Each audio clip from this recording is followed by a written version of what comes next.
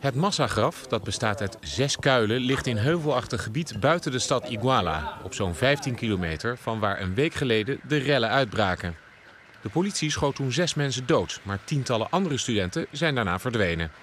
22 agenten zijn inmiddels opgepakt. De onderzoekers denken nu dat de daders de lichamen hier hebben verborgen. Hay restos, eh, sí, pero no se sabe en qué condiciones. No hemos tenido contacto. ¿Cuántas fosas eh, bien? Eh, nosotros contabilizamos seis fosas.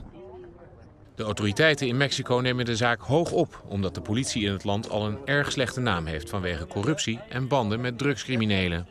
El Estado mexicano no puede permitir que un hecho tan indignante quede impune. Queremos ser enfáticos en el hecho de que habremos de poner toda la fuerza del Estado para esclarecer este lamentable acontecimiento.